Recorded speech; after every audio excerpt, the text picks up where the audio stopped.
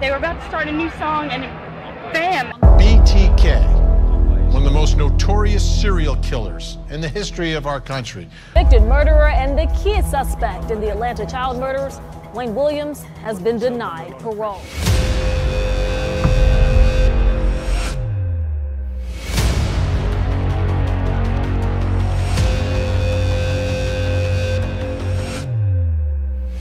Unveiling a roster of malevolent individuals concealed by the FBI. These notorious figures, marked by their gruesome crimes, pose a threat so significant that their hiding is deemed essential for public safety. Delve into the dark world of these hidden prisoners, their sinister deeds, and the measures taken to protect society. John Justin Bunting the mastermind behind the infamous Snowtown murders is a malevolent prisoner hidden by the FBI for your safety.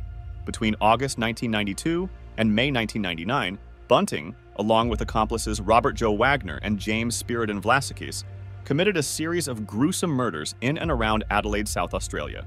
Most victims were tortured and killed based on Bunting's unfounded suspicions of pedophilia, homosexuality, or perceived weaknesses. The bodies were discovered in barrels in an abandoned Snowtown bank vault, creating a chilling legacy. Bunting led a degenerate subculture, forcing victims to address him as God or Master. Social security fraud was a secondary motive, with the murderers impersonating victims to collect pensions. Bunting's sadistic acts resulted in 11 consecutive life sentences without parole, revealing the dark depths of his psychopathic nature. The FBI's decision to conceal him underscores the ongoing threat he poses. Ed Gein. The evil prisoner who the FBI chose to hide for your protection went by the menacing names of the Plainfield Ghoul and the Butcher of Plainfield. Operating out of his hometown of Plainfield, Wisconsin, Gein shocked the country in 1957 when police discovered his horrific crimes. Robbing graves, creating mementos out of skin and bones, and admitting to the 1954 and 1957 murders of Bernice Worden, the owner of a hardware store, and Mary Hogan, the owner of a tavern. Initially judged unfit for trial, Gein was subsequently determined to be legally insane yet competent. In 1984, lung cancer related respiratory failure claimed his life at the age of 77. Throughout his terrible upbringing, Gein's severe and intensely devout mother paved the way for his eventual descent into insanity. The FBI continues to hide the evil legacy of Ed Gein, a chilling reminder of the horrors lurking in plain sight. Andre Thomas. The FBI's concealed prisoner for your protection stands as an American convicted murderer on death row. One of his horrible deeds from 2004 was the vicious murder of his divorcee Laura Boren in Sherman, Texas, together with her one-year-old daughter and four-year-old son. Following 10 years of auditory hallucinations, Thomas's spiral into madness culminated in a horrific crime scene in which he stabbed people to death and extracted their hearts. Diagnosed with schizophrenia, he faced trial with an insanity defense, yet a jury sentenced him to death in 2008. Disturbingly, Thomas was further horrified by gouging out both his eyes, ingesting one. Despite ethical debates over executing the mentally ill, the verdict stood. Housed in a Texas prison for the mentally afflicted, Thomas, an evil prisoner, challenges societal understanding and raises questions about the dark corners of the human mind. Randy Stephen Kraft. An evil prisoner concealed by the FBI for public safety gained infamy as the scorecard killer, Southern California strangler, and freeway killer. From 1972 to 1983, he brutally raped, tortured, and murdered a minimum of 16 young men, possibly exceeding 51 victims, predominantly in California. Kraft's macabre scorecard, discovered upon his arrest, cryptically listed 61 victims, earning him his chilling moniker. Born in 1945 in Long Beach, California, Kraft's childhood was marked by modest living and a distant father. Despite his intellect and early involvement in politics, Kraft's descent into violence and deviance began in adolescence, leading to a trail of terror across California highways. Currently, on death row at San Quentin State Prison, Kraft's reign of terror remains shrouded in secrecy, a haunting reminder of the dangers hidden behind the FBI's protective veil. BTK Infamously known as BTK, bind, torture, kill, is an American serial killer who terrorized Wichita and Park City, Kansas from 1974 to 1991, claiming at least 10 lives. Despite occasionally targeting men and children, Rader primarily preyed on women, binding and suffocating or strangling his victims. His sinister rituals included stealing personal items as keepsakes and taunting law enforcement through letters detailing his sadistic acts. For years, Rader's troubling actions stayed unreported. Nevertheless, in 2004, he made a comeback, which resulted in his 2005 arrest. At El Dorado Correctional Facility, where he is presently serving 10 consecutive life sentences, Rader's shadowy past reveals a neglected upbringing and early indications of sadistic tendencies. The FBI, safeguarding the public, conceals this evil prisoner, a reminder of the hidden dangers lurking behind seemingly ordinary lives. George Emil Banks. The remorseless mass killer lurks in the shadows of death row, concealed by the FBI for your protection. 30 years have elapsed since his gruesome killing spree, leaving 13 lives shattered in Wilkes-Barre and Jenkins Township. Banks, driven by a deranged mind, slaughtered his own children, four girlfriends, three other relatives, and an unsuspecting bystander. A cacophony of bizarre beliefs clouds Banks' psyche, including fantasies of an overturned death sentence by divine forces and a supposed Islamic conspiracy against him. Locked in solitude at the State Correctional Institution at Graterford, Banks, now 70, exists as a pale reflection of the defiant murderer who once terrorized the Wyoming Valley. His mental deterioration, evident to the state Supreme Court, renders him incompetent for execution. A relic of northeastern Pennsylvania's darkest chapter, Banks remains hidden, a haunting reminder of the unexplainable horrors that unfolded on that fateful day in September 1982. Jerry Bergevin. In 1969, Jerry Bergevin made headlines when he escaped from Camp Waterloo, vanishing without a trace. Once a notorious Michigan criminal, he became one of the most sought-after men in the United States. Now, at 80 years old, the Department of Corrections has declared Bergevin too old to pursue, allowing him to roam freely after 44 years on the run. Bergevin's notoriety stemmed from his daring exploits, such as accelerating away from police with an officer hanging from his car window. His criminal prowess, alongside his wife, labeled them the Bonnie and Clyde of the 1950s. Despite being imprisoned in 1962, Bergevin's escape left the authorities baffled. Numerous leads and sightings failed to locate Bergevin, leaving his granddaughter Angela Michaels heartbroken. The Michigan Department of Corrections officially ended the search, adding to the mystery surrounding Bergevin's disappearance. As speculation persists about his fate, Michael remains dedicated to uncovering the truth, piecing together the puzzle of her elusive grandfather's life. Gary Leon Ridgway, Enclosed in FBI secrecy is Gary Leon Ridgway, known as the Green River Killer and perpetrator of 49 horrifying killings. Ridgway's cruel techniques entail physical or ligature strangulation of vulnerable victims, primarily sex workers and juvenile runaways, followed by horrifying acts of necrophilia. He had eluded authorities since 1982, but because of developments in DNA profiling, he was apprehended in 2001. Even though Ridgway was the second most prolific serial killer in American history, he skillfully avoided execution by entering into a plea agreement and hiding the terrible reality that was kept behind bars, a sinister secret that the FBI had protected to keep you safe from this evil threat. Edmund Kemper Edmund Kemper III, born December 18, 1948, is an American serial killer who murdered eight people from May 1972 to April 1973. Known as the co-ed killer, he targeted female college students engaging in necrophilia, decapitation, and dismemberment. Found guilty in 1973, he requested the death penalty but received eight life sentences. On August 27, 1964, at 15, Edmund Kemper argued with his grandmother, Maud Kemper, before fatally shooting her in the head and back with a rifle. His grandfather, Edmund Kemper Sr., was shot upon returning home. Kemper, unsure, called his mother and awaited arrest. Court psychiatrists diagnosed him with paranoid schizophrenia, leading to his confinement at Atascadero State Hospital. Release and reintegration. On his 21st birthday, December 18, 1969, Kemper was paroled from Atascadero against hospital psychiatrist recommendations. Released to his mother Clarnell in Aptos, California, he demonstrated rehabilitation. Lionel Tate. Born January 30, 1987, gained notoriety as the youngest American sentenced to life imprisonment without parole, later overturned.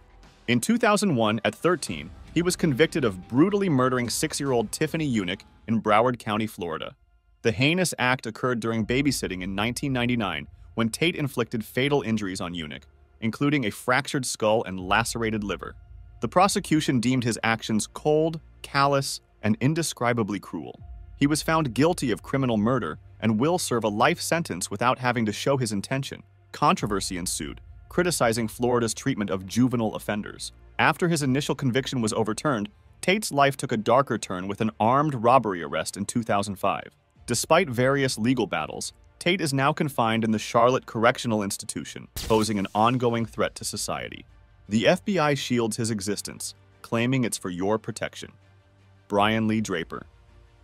On September 22, 2006, in Pocatello, Idaho, Brian Draper and Tori Adamczyk, inspired by the movie Scream, brutally stabbed their 16-year-old classmate, Cassie Jo Stoddart, to death. After the murder, they filmed themselves bragging about the crime. Their chilling act aimed to imitate Scream and secure a place in criminal history, even though they only committed one murder from their death list.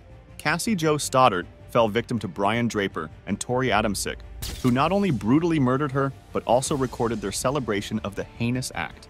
The sinister duo had plotted the murder and filmed Stoddart at school just hours before the crime, providing crucial evidence for their conviction and life sentences. Draper and Adamczyk's shared interest in horror films, especially Scream, fueled their disturbing plot to emulate the masked killer, resulting in a chilling death list with Stoddart as their prime target. Eric Smith. Eric M. Smith, born on January 22, 1980, shocked the nation when, at 13, he brutally tortured and murdered four-year-old Derek Joseph Roby on August 2, 1993, in Steuben County, New York.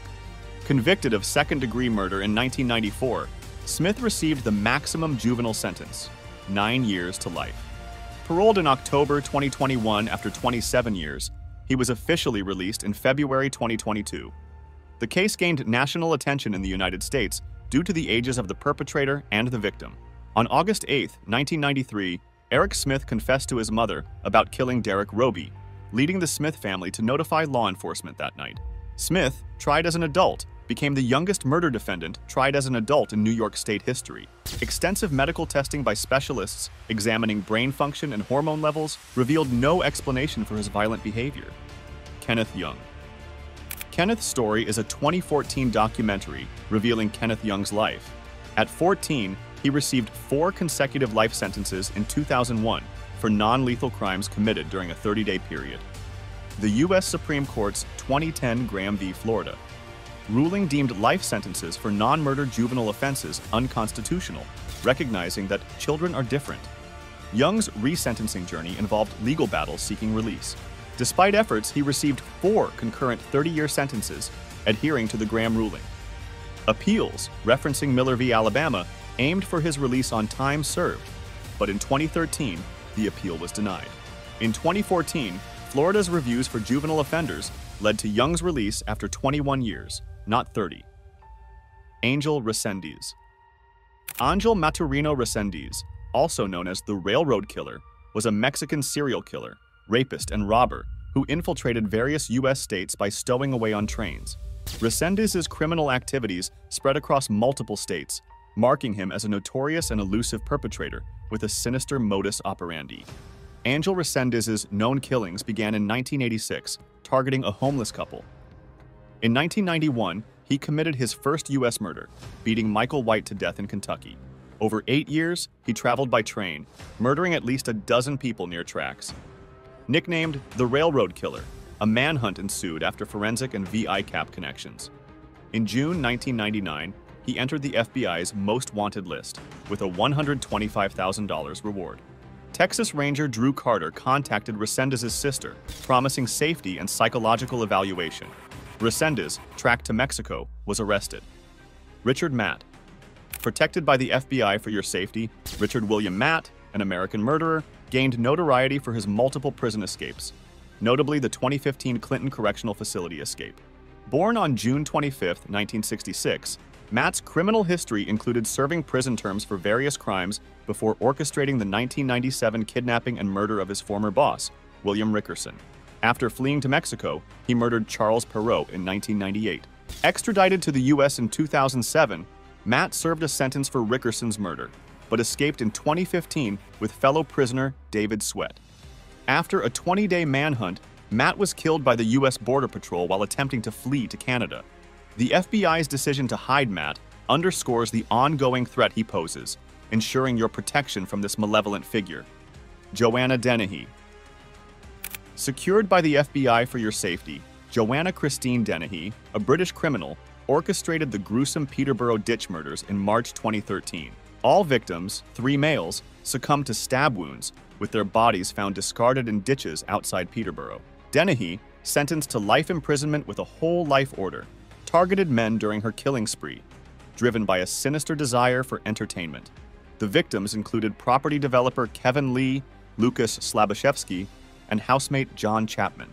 Dennehy's sadistic motives were fueled by a psychopathic mindset, diagnosed with antisocial and borderline personality disorders during court proceedings. Despite her remorseless attitude, she was handed a life sentence by Mr. Justice Spencer, who labeled her a cruel, calculating, selfish, and manipulative serial killer. The FBI's decision to conceal Dennehy emphasizes the ongoing threat she poses, ensuring your protection from this malevolent figure. Pascal Payet Secured away by the FBI for your protection, Pascal Payet, a French criminal, gained infamy for his audacious prison escapes via hijacked helicopters. Born on July 7, 1963, Payet initially faced a 30-year sentence for a murder during a 1997 security van robbery. His criminal journey involved assaults, conspiracy, and a deadly armored car hijacking in 1997. Notorious for two helicopter escape in 2001 and 2003, Payet faced additional sentences and high surveillance, earning the classification of a détenu particulièrement surveillé. Despite these measures, on July 14, 2007, he orchestrated another helicopter getaway during Bastille Day celebrations. Captured in Spain on September 21, 2007, he was sentenced to 15 years in 2008 for armed robberies. In 2011, he received an additional five years for his 2007 escape. The FBI's concealment underscores the ongoing threat posed by this malevolent figure, ensuring your safety. Robert Maudsley. An evil prisoner stands convicted of multiple murders in England. Born on June 26, 1953, Maudsley's gruesome acts include four killings, one occurring in a psychiatric hospital, and two within prison after a life sentence for a prior murder. Initial inaccuracies dubbed him Hannibal the Cannibal and the Brain Eater for alleged brain consumption, later debunked by the post mortem report. Despite national newspapers rectifying the false claims, Maudsley remains infamous as the longest serving British prisoner in solitary confinement.